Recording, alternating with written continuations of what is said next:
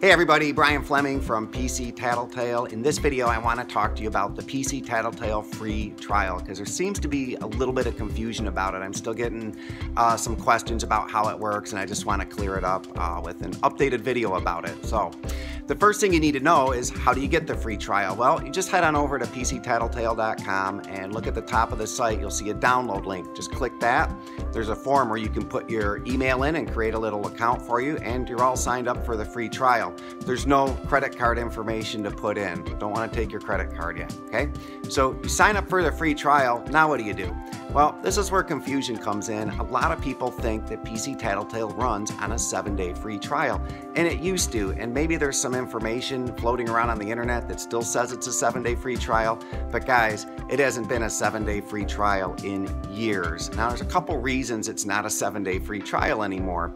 The first one is, you know, people would sign up for the seven day free trial and then they couldn't get their hands on the phone or the computer for maybe four or five days. And then they finally do and install it, and their free trial only has two days left. Well, that's not really enough time to evaluate the product. So that piece of it was causing problems. And then the second piece, which is really surprising, but it's kind of not if you think about it, is a surprisingly high number of people uh, would install PC Tattletale for the free trial get the passwords, find out everything they need literally within a day or two, uninstall the app and cruise. So the business wasn't going to be viable running that way. I had to make some changes. So I changed PC Tattletale around. It works what's called a crippled version. So what I want you to do is sign up for the free trial. I want you to install it on your devices so that A, you know you can install it on there, and B, you can see that it works and how it works. So you put PC Tattletale on the devices you want,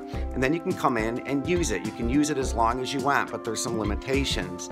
The limitations is you don't get to see everything. So you come into PC Tattletale and you look and you can see them using their computer or their phone in the morning and then the video it might stop at 9 or 10 in the morning. But if you look further down on the click chart you'll see there's a lot more activity going into noon and the evening but you need to purchase the product to see the rest of the activity. So hopefully that makes sense. It's a crippled version not a seven day free trial. And the other thing you need to know is that you don't need to touch their devices to update the app once you purchase. It's the same app. It's literally just showing you more of what it's done. I know that's important, you guys, because I know how hard it is to get a hold of these devices uh, and install software on them. So that's it with the free trial, guys. You can head on over to PCTattletale.com, hit me up in support if you have any questions. Be happy to answer them for you, and uh, go check it out. I have another video for you again soon. Take care. Bye bye.